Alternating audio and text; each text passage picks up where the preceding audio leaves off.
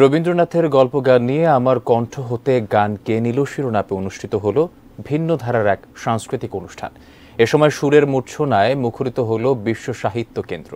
মঙ্গলবার সন্ধ্যায় বাংলা মোটরের বিশ্ব সাহিত্য কেন্দ্রে প্রাণবন্ত এই অনুষ্ঠানটির আয়োজন করে চৈতন্য প্রকাশনী। রবীন্দ্রনাথের কণ্ঠে গাওয়া গানের সংকলনে সাজানো হয়েছিল পুরো অনুষ্ঠানটি।